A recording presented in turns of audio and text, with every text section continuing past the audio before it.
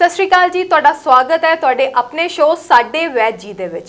ਅੱਜ ਸਾਡੇ ਨਾਲ ਸਾਡੇ ਵੈਦ ਜੀ, ਵੈਦ ਜਗਜੀਤ ਸਿੰਘ ਜੀ ਫਿਰ ਤੋਂ ਹਾਜ਼ਰ ਨੇ ਸਾਡੇ ਸਟੂਡੀਓ ਦੇ ਵਿੱਚ।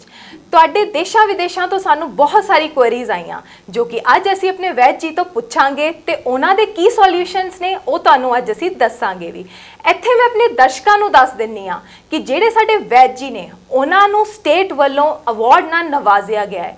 ਤੇ ਉਹਨਾਂ ਨੇ ਮਾਰਤ ਹਾਸਿਲ ਕੀਤੀ ਹੈ ਆਯੁਰਵੈਦਿਕ ਚਿਕਿਤਸਾ ਦੇ ਅੰਦਰ, ਜੋ ਕਿ ਉਹਨਾਂ ਨੇ ਆਪਣੇ ਕਿੱਤੇ ਦੇ ਵਿੱਚ ਬਹੁਤ ਹੀ ਵਧੀਆ ਇੱਕ ਜਿਹਨੂੰ ਕਹਿੰਦੇ ਮੁਕਾਮ ਹਾਸਿਲ ਕੀਤਾ ਹੈ। ਤੇ ਆਓ ਹੁਣ ਤੁਹਾਨੂੰ ਆਪਣੇ ਵੈਦ ਜੀ ਦੇ ਨਾਲ ਮਿਲਵਾਨੇ ਆ ਤੇ ਤੁਹਾਡੀ ਕੁਐਰੀਜ਼ ਦੇ ਆਪਾਂ ਉਹਨਾਂ ਤੋਂ ਕੁਐਸਚਨਸ ਪੁੱਛਦੇ ਆ ਸਤਿ ਸ਼੍ਰੀ ਅਕਾਲ ਵੈਦ ਜੀ ਤੁਹਾਡਾ ਬਹੁਤ ਬਹੁਤ ਸਵਾਗਤ ਹੈ ਤੁਹਾਡੇ ਆਪਣੇ ਸ਼ੋਅ ਸਾਡੇ ਵੈਦ ਜੀ ਦੇ ਵਿੱਚ। ਸਤਿ ਸ਼੍ਰੀ ਅਕਾਲ ਜੀ ਬਹੁਤ ਬਹੁਤ ਧੰਨਵਾਦ ਤੁਹਾਡਾ। ਜਿਵੇਂ ਕਿ ਸਰ ਸਾਨੂੰ ਦੇਸ਼ ਵਿਦੇਸ਼ ਤੋਂ ਬਹੁਤ ਸਾਰੀ ਕੁਐਰੀਜ਼ ਆਈਆਂ।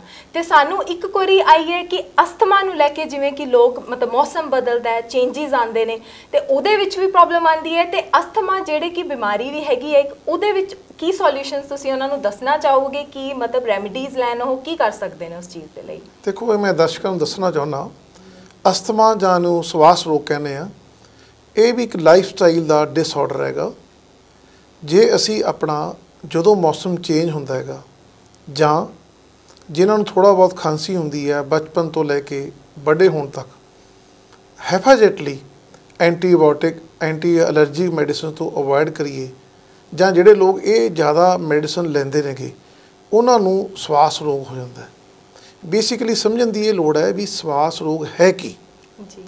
ਸਵਾਸ ਦੀ ਨਾਲੀਆਂ ਦੀ ਫਲੈਕਸੀਬਿਲਟੀ ਘਟਣਾ ਮਤਲਬ ਕਿ ਅਸੀਂ ਸਾਹ ਲੈਂਦੇ ਆ ਔਰ ਛੱਡਦੇ ਆ ਜੀ। ਇਹ ਜਿਹੜੀਆਂ ਸਾਡੀਆਂ ਨਾਲੀਆਂ ਨੇ ਸਾਹ ਦੀਆਂ ਉਹ ਫਲੈਕਸੀਬਲ ਹੁੰਦੀਆਂ ਨੇ। ਸਾਹ ਲੈਂਦੇ ਆ ਫੁੱਲਦੀਆਂ ਨੇ। ਸਾਹ ਛੱਡਦੇ ਆ ਉਹ ਸੰਕੁਚਿਤ ਹੁੰਦੀਆਂ ਨੇ। ਉਹਨਾਂ ਦੀ ਫਲੈਕਸੀਬਿਲਟੀ ਘਟਣੀ ਹੀ ਸਵਾਸ ਰੋਗ ਕਹਿੰਦੇ ਆ। ਚਾਹੇ ਕਹਿੰਦੇ ਵੀ ਸਾਹ ਲੈਣ ਦੇ ਲਈ ਪ੍ਰੋਬਲਮ ਆਉਣੀ ਤਕਲੀਫ ਹੋਣੀ ਮੀਨ ਸਵਾਸ ਜਾਂ ਅਸਥਮਾ ਕਹਿ ਦਿੰਦੇ ਆ। ਹਾਂਜੀ। ਇਹ ਤੁਹਾਡੀ ਗੱਲ ਬਿਲਕੁਲ ਠੀਕ ਹੈ ਵੀ ਜਦੋਂ ਮੌਸਮ ਚੇਂਜ ਹੁੰਦਾ ਹੈ ਜਾਂ ਜਿਨ੍ਹਾਂ ਨੂੰ ਲੋਕਾਂ ਦੀ ਲੰਗਸ ਦੀ ਕੈਪੈਸਿਟੀ ਜਾਂ ਲੰਗਸ ਦੀ ਇਮਿਊਨਿਟੀ ਘਟ ਜਾਂਦੀ ਹੈ ਜਦੋਂ ਏਸੀ ਵਿੱਚੋਂ ਗਰਮ ਇੱਕਦਮ ਜਾਂਦੇ ਨੇ ਜਾਂ ਗਰਮੀ ਵਿੱਚੋਂ ਇੱਕਦਮ ਏਸੀ ਵਿੱਚ ਜਾਂਦੇ ਨੇ ਤਾਂ ਐਡਵਰਸ ਐਟਮੋਸਫੇਅਰ ਦੇ ਫ਼ਰਕ ਪੈਣ ਨਾਲ ਜਾਂ ਜਦੋਂ ਤੁਸੀਂ ਦੇਖੋ ਅੱਜ ਕੱਲ ਦੇ ਮੌਸਮ ਦੇ ਵਿੱਚ ਬਹੁਤ ਧੂਲ ਉੱਡਦੀ ਹੈ ਮਿੱਟੀ ਉੱਡਦੀ ਹੈ। ਜੀ। ਜਿਹੜੇ ਉਹ ਮਿੱਟੀ ਦੇ ਕਣ ਨੇ ਰੂਟੀਨ ਲਾਈਫ ਦੇ ਵਿੱਚ ਵੀ ਅਸੀਂ ਪਤਾ ਨਹੀਂ ਕਿੰਨੇ ਜ਼ਿਆਦਾ ਬੈਕਟੀਰੀਏ ਅਲਰਜਨ ਕਿੰਨੇ ਅੰਦਰ ਸਾਡੇ ਸਾਹ ਰਾਹੀਂ ਅੰਦਰ ਜਾਂਦੇ ਨੇ। ਜੀ ਬਿਲਕੁਲ। ਜਦੋਂ ਸਾਡੀ ਬਾਡੀ ਦੀ ਜਿਹੜੀ ਅਲਰਜਨ ਦੀ ਕੈਪੈਸਿਟੀ ਹੈ ਜਾਂ ਜਿਹੜੇ ਇੱਕ ਨੈਚੁਰਲ ਅਲਰਜਨਸ ਨੇ ਸਾਡੇ ਉਹ ਵੀਕ ਹੁੰਦੇ ਨੇ ਉਦੋਂ ਇਹ ਸਾਹ ਦੀ ਪ੍ਰੋਬਲਮ ਵਿਅਕਤੀ ਨੂੰ ਸ਼ੁਰੂ ਹੁੰਦੀ ਹੈ। ਮੈਂ ਤੁਹਾਨੂੰ ਇਹ ਬੜੇ ਦਾਅਵੇ ਨਾਲ ਆਪਦੇ ਐਕਸਪੀਰੀਅੰਸ ਨਾਲ ਦੱਸਣਾ ਚਾਹੁੰਦਾ। ਜਦੋਂ ਅਸੀਂ ਪੇਸ਼ੈਂਟ ਦੀ ਹਿਸਟਰੀ ਲੈਂਦੇ ਆ 90% ਉਹ ਲੋਕ ਅਸਥਮੇ ਦੇ ਪੇਸ਼ੈਂਟ ਹੁੰਦੇ ਨੇ ਜਿਨ੍ਹਾਂ ਨੂੰ ਬਚਪਨ ਦੇ ਵਿੱਚ ਸਾਲ 2 ਸਾਲ 3 ਸਾਲ 4 ਸਾਲ ਦੀ ਏਜ ਦੇ ਵਿੱਚ ਉਹਨਾਂ ਨੂੰ ਮੈਡੀਕੇਸ਼ਨ ਓਵਰ ਮੈਡੀਕੇਸ਼ਨ ਦਿੱਤੀ ਜਾਂਦੀ ਹੈ। ਥੋੜਾ ਖਾਂਸੀ ਹੋਈ ਬਜਾਏ ਕਿ ਉਹਦੀ ਅੰਦਰ ਐਂਟੀਬਾਡੀਜ਼ ਆਪਦੇ ਪ੍ਰੋਟੈਕਟ ਕਰਨ ਕਫ ਨੂੰ ਠੀਕ ਕਰਨ। ਲੇਕਿਨ ਅਸੀਂ ਕੀ ਆ ਫਟਾਫਟ ਡਾਕਟਰ ਕੋਲ ਜਾਂਦੇ ਆ ਇੱਕ ਐਂਟੀਬਾਇਓਟਿਕ ਇੱਕ ਐਂਟੀਬਾਇਓਟਿਕ ਨਾਲ ਦੋ ਦਿਨ ਚ ਬੱਚੇ ਨੂੰ ਖਾਂਸੀ ਠੀਕ ਨਹੀਂ ਹੋ ਰਹੀ ਤਾਂ ਅਸੀਂ ਡਾਕਟਰ ਦੇ ਪ੍ਰੈਸ਼ਰ ਪਾਉਂਦੇ ਆ ਡਬਲ ਐਂਟੀਬਾਇਓਟਿਕ। ਇਹ 90% ਇਸ ਤਰ੍ਹਾਂ ਦੀ ਹਿਸਟਰੀ ਮਿਲਦੀ ਹੈ ਵੀ ਜਿਹੜਿਆਂ ਨੂੰ ਬੜੇ ਹੋ ਕੇ ਸਵਾਸ ਰੋਗ ਹੁੰਦਾ ਹੈਗਾ ਉਹਨਾਂ ਨੂੰ ਬਚਪਨ ਦੇ ਵਿੱਚ ਗਲਤ ਮੈਡੀਕੇਸ਼ਨ ਓਵਰ ਮੈਡੀਕੇਸ਼ਨ ਦਿੱਤੀ ਜਾਂਦੀ ਹੈ। ਹਾਂਜੀ ਇਹ ਹੈ ਅਸਥਮੇ ਦਾ ਇੱਕ ਸਿੰਪਲ ਜਿਹੜਾ ਹੈ ਫਿਜ਼ੀਓਲੋਜੀਕਲੀ ਕੀ ਹੈ। ਮਤਲਬ ਤੁਹਾਡਾ ਇੱਥੇ ਕਹਿਣਾ ਹੈ ਕਿ ਬੱਚਿਆਂ ਨੂੰ ਐਂਟੀਬਾਇਓਟਿਕਸ ਤੋਂ ਅਵੋਇਡ ਕਰਾਉਣਾ ਚਾਹੀਦਾ ਹੈ। ਦੇਖੋ ਬੀਬਾ ਜੀ ਇੰਟਰਨੈਸ਼ਨਲ ਲੈਵਲ ਤੇ ਹਾਂਜੀ। ਐਂਟੀਬਾਇਓਟਿਕਸ ਨੂੰ ਬਹੁਤ ਘੱਟ ਯੂਜ਼ ਕੀਤਾ ਜਾਂਦਾ ਹੈ। ਜੀ ਬਿਲਕੁਲ। ਅਗਰ ਸਾਰੇ ਵਰਲਡ ਵਿੱਚ ਸਭ ਤੋਂ ਵੱਡੀ ਮਾਰਕੀਟ ਮੈਡੀਸਨ ਦੀ ਹੈ ਉਹ ਸਾਡੇ ਇੰਡੀਆ ਦੇ ਵਿੱਚ ਹੈ। ਕਿਉਂਕਿ ਅਸੀਂ ਦੇਖੋ ਦੇਖੀ ਨਾ ਦੇਖੋ ਇੱਕ ਇਨੋਸੈਂਟ ਬੱਚਾ ਹੈ 3 ਮਹੀਨੇ 4 ਮਹੀਨੇ ਚ ਉਹਨੂੰ ਖਾਂਸੀ ਜ਼ੁਕਾਮ ਹੋਣਾ ਇੱਕ ਆਮ ਗੱਲ ਹੈ। ਬਿਲਕੁਲ ਜੀ ਲੇਕਿਨ ਅਸੀਂ ਘਰ ਦੇ ਵਿੱਚ ਪ੍ਰੈਸ਼ਰ ਆ ਜਾਂਦੇ ਆ ਵੀ ਇਹਦੀ ਬੂਆ ਨੇ ਮਿਲਣ ਆਉਣਾ ਹੈ ਇਹਦੇ ਚਾਚੇ ਨੇ ਮਿਲਣ ਆਉਣਾ ਹੈ ਇਹਦੀ ਭੈਣ ਨੇ ਮਿਲਣ ਆਉਣਾ ਹੈ। ਮੈਨੂੰ ਕਹਿਣਾ ਤੂੰ ਇਹਨਾਂ ਨੇ ਧਿਆਨ ਰੱਖ ਸਕੀ। ਅਸੀਂ ਇਹੋ ਜਿਹੇ ਪ੍ਰੈਸ਼ਰ ਹੇਠ ਇੱਕ ਉਹ ਜਿਹੜਾ ਇਨੋਸੈਂਟ ਹੈ ਉਹ ਗਰੀਬ ਆਦਮੀ ਨਾਲ ਆਪਾਂ ਧੱਕਾ ਕਰਨਾ ਸ਼ੁਰੂ ਕਰ। ਦਿੰਦੇ ਬੱਚਿਆਂ ਦੇ ਉੱਤੇ ਇਸ ਚੀਜ਼ ਦਾ ਬਹੁਤ ਜ਼ਿਆਦਾ ਪ੍ਰੈਸ਼ਰ ਹੋ ਜਾਂਦਾ ਹੈ ਜਦ ਕਿ। ਪਹਿਲਾਂ ਕੀ ਹੁੰਦਾ ਸੀਗਾ। ਜਦੋਂ ਸਿਆਣੇ ਗ੍ਰੈਂਡ ਪੇਰੈਂਟਸ ਘਰ ਦੇ ਵਿੱਚ ਤਾਂ ਉਹ ਕਹਿੰਦੇ ਸੀ ਨਾ ਕੁੱਜੇ ਵਿੱਚ ਥੋੜਾ ਜਿਹਾ ਘੀ ਦੇ ਵਿੱਚ ਸੁਹਾਗਾ ਮਲਾਇਆ।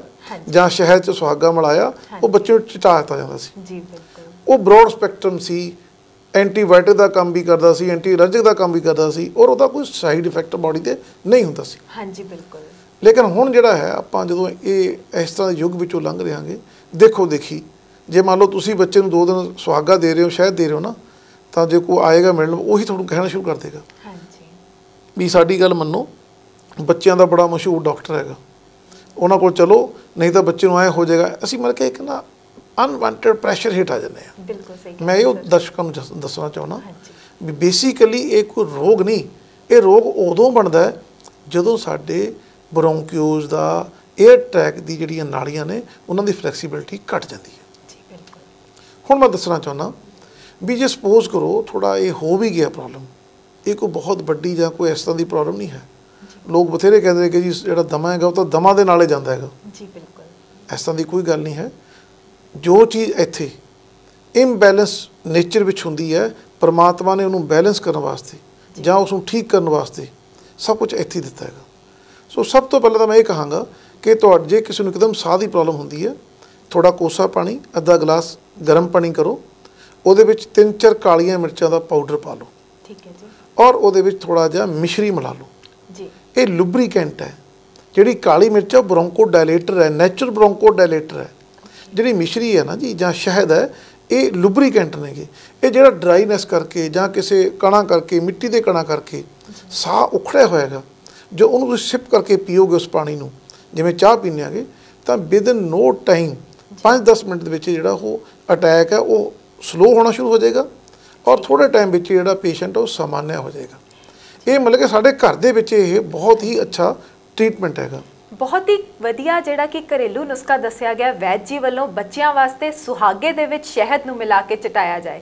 ਤੇ ਵੱਡਿਆਂ ਵਾਸਤੇ ਅਸਤਮੇ ਦਾ ਜਿਹੜਾ ਨੁਸਖਾ ਦੱਸਿਆ ਗਿਆ ਜੋ ਕਿ ਗਰਮ ਪਾਣੀ ਦੇ ਵਿੱਚ ਕਾਲੀ ਮਿਰਚ ਤੇ ਮਿਸ਼ਰੀ ਨੂੰ ਮਿਲਾ ਕੇ ਜੇਕਰ ਥੋੜਾ ਥੋੜਾ ਕਰਕੇ ਪੀਆ ਜਾਏ ਸਿਪ ਸਿਪ ਕਰਕੇ ਤੇ ਉਹ ਲਾਭਦਾਇਕ ਰਹੇਗਾ।